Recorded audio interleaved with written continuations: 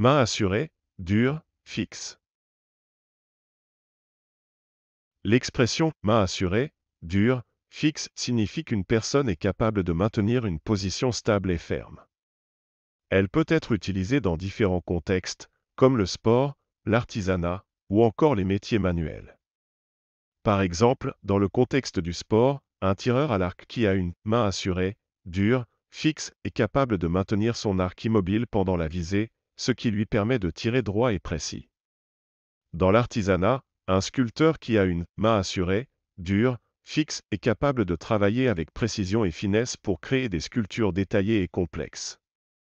Enfin, dans les métiers manuels, un maçon qui a une main assurée, dure, fixe est capable de travailler avec efficacité et sécurité sur un chantier de construction, en manipulant des matériaux lourds et en assurant une pose précise des éléments du bâtiment.